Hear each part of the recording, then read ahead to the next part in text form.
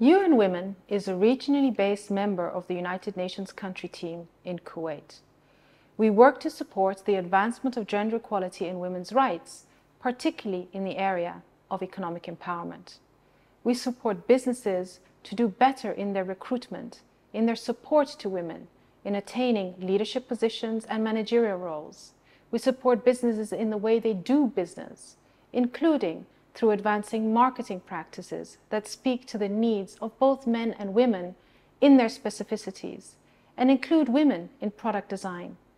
We work to ensure more businesses commit and sign up to advanced quality standards and business practices in this regard through the Women's Empowerment Principles, which set international benchmarks in this regard.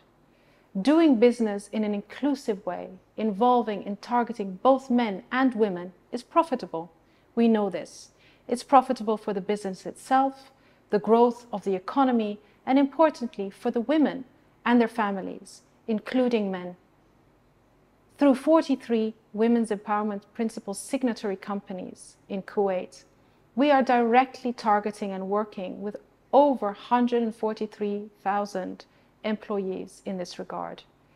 We work with our national partners to ensure this number grows every year and continues to grow as we move forward.